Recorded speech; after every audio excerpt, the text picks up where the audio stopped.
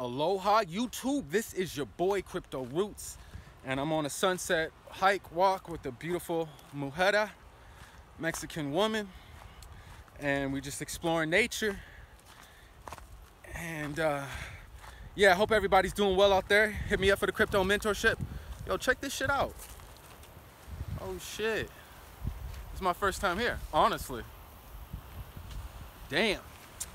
Yo, so I just want to spit some game, man. Don't fall asleep on this crypto game. I'm telling you, people who put me on a Bitcoin are hitting me up for the mentorship, trying to figure out how this DeFi game works.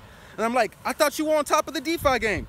Nah, I just been fucking with Bitcoin and I, I haven't been paying that much. It's like, yo, you fell asleep on the game. Same with some of my mentees. They fell asleep on the game. Uh, two months or three months after after not doing the mentorship, some they done left behind, man. So many things and so many opportunities have presented themselves and other people have taken advantage that you you get locked into this box that what you think your investments are it, that you're ahead of the game. I'm telling you, this crypto game moves so fast, bro, right? You gotta stay ahead of it. It's all about finding alpha. Alpha, being ahead of the pack, finding the crypto gems early, like I do, right? So to make really great returns on investments. You know what I'm saying? And be able to live off that and travel, right? So it's not about it's not about being right, right? It's about making money. So sometimes you have to change. Sometimes you have to adapt. Sometimes you have to let go of certain investments or, or other times you have to take more risk on investments you didn't think you would take risk. Sometimes you got to adapt to Ethereum if you're stuck on Bitcoin. That's, that's the real shit. I got people hitting me up. Yo, I, have been on top of the Bitcoin game, but I know nothing about Ethereum. I know nothing about yield farming. I know nothing about DeFi and liquidity mining. And it's like, yo, you got stuck in a box, bro. You got stuck in a box. You started acting like an old man, thought you knew we were ahead of the game, and now you're behind the game, right? So don't turn your back on this crypto game. It, you, it consistently takes focus and consistently takes effort and risk, right? And there's always new opportunities. There's a lot of scams. And I understand why people are cautious.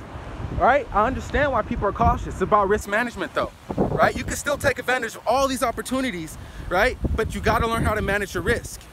It's not about making money, it's about not losing money on some real shit. Do not turn your back on this crypto game. Otherwise, you're gonna miss those opportunities. You're gonna be, you're gonna take bigger risk and get fucked up or get into a scam. And I'm telling you, this shit's all bad, right? It can be all bad. But if, if you if you stay on top of it, right, hit me up for the mentorship.